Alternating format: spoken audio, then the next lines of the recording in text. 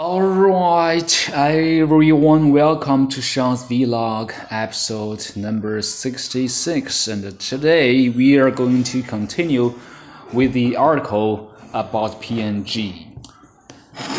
Alright, in February, it launched a household cleaning line, Microban 24, that the company says can be used against the new coronavirus. It also offers 24-hour protection against bacteria, though not any viruses.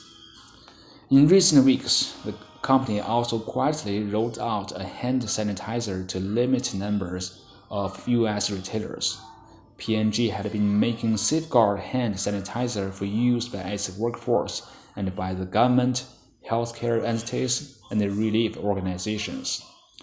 Mr. Taylor said the company is working to ramp up capacity of both products. P&G kept all its U.S. manufacturing operations running through the pandemic, and employees have since returned to work at product development facilities and in offices, though at much reduced levels.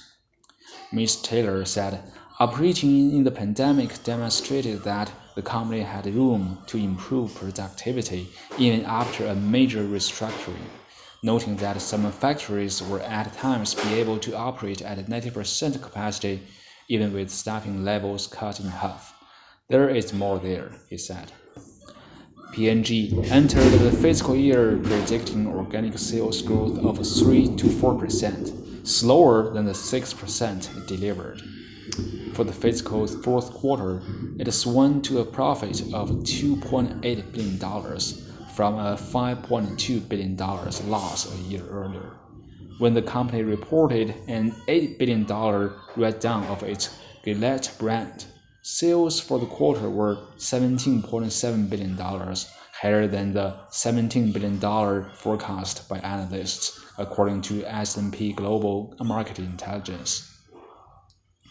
The company's adjusted quarterly profit of $1.16 cents a share was above the average of $1.01 projected by the analysts.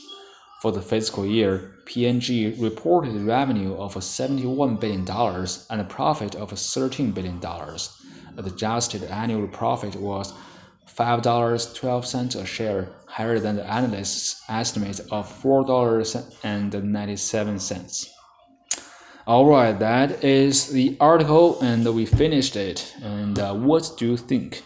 Do you think I am uh, uh, more confident, and do you think I slowed enough when I was supposed to be slowing down? Um, let me know. So, do you think I should continue reading articles every day? Um, left a message. All right, enjoy the weekend. Bye.